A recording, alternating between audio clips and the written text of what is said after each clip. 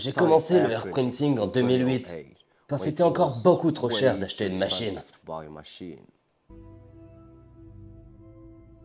Je me rappelle quand j'étais petit, mon père m'en avait parlé pendant la récolte de pommes de terre de la saison automne-hiver 1984. Le air printing, c'est l'appel du devoir. Ça vous dévore à l'intérieur. On ne devient pas un air printer. On est air printer.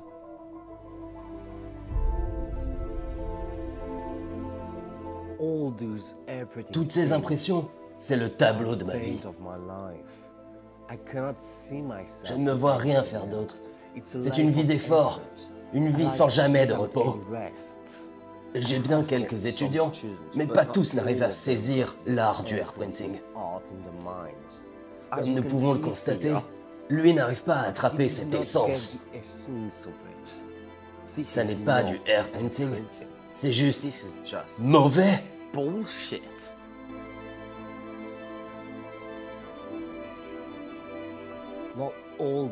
Les étudiants n'arrivent pas à comprendre le air printing. Ils n'arrivent pas à attraper cette essence de cet art complexe qu'il représente.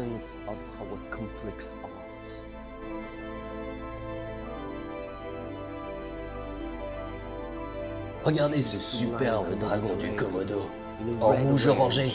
J'ai trouvé cette couleur quand je marchais sur la route de la soie.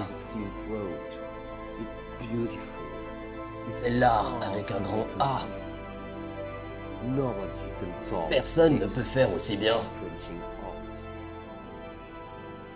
Regardez ces courbures, regardez ces formes, regardez comme il attrape votre âme.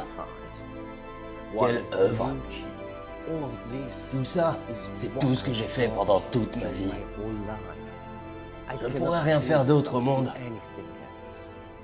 J'ai commencé à réfléchir pour la première fois au air printing quand je marchais dans le désert. J'avais soif. Alors j'ai bu mon pipi. Et d'un coup, ça m'est venu. Le air printing, c'est l'art parfait. C'est le futur de l'art actuel. C'est clairement le huitième art. Merci à vous.